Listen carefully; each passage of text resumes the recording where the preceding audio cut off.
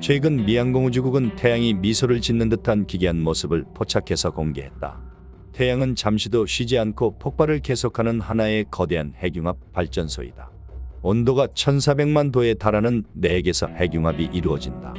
이 에너지 일지를 폭발력으로 환산하면 다이너마이트 22,000톤에 달하는 위력이다.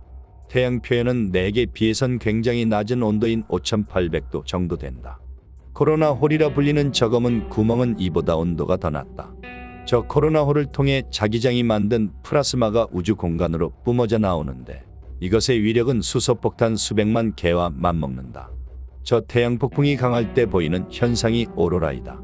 플라스마 입자들이 지구 자기장을 따라 대기로 침투하는데 지구 자기장은 극지방으로 빨려 들어가는 모양이라서 주로 극지방에서 아름다운 오로라 현상을 볼 수가 있는 것이다.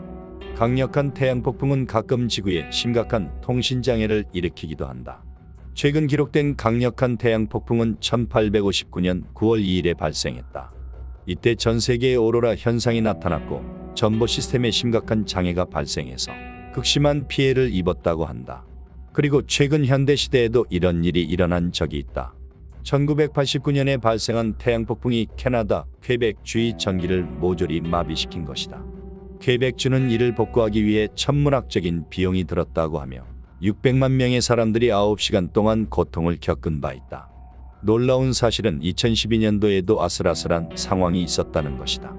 2012년 태양으로부터 엄청난 코로나 질량 방출 사건이 있었다. 폭풍 입자는 지구 궤도를 살짝 비켜가는 방향이었지만 2주 후에 지구가 공전하면서 그 위치로 이동했다.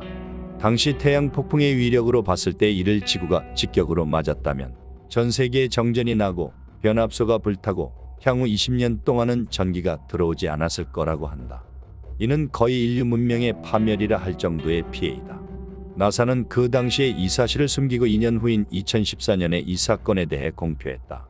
또한 2019년 12월 9일에도 이 태양 폭풍의 영향으로 캐나다 밴쿠버에서 대규모 정전 사태가 일어날 수 있다는 경고로 한바탕 소요 사태가 일어났다. 이날은 강한 자기 폭풍으로 인한 대규모 오로라 현상이 미국 중남부까지 발견되었으며 다행히 큰 피해는 없었다고 한다. 우리 인류가 어느 순간 어떤 방식으로 멸망하게 될지는 그 누구도 모르는 것이다.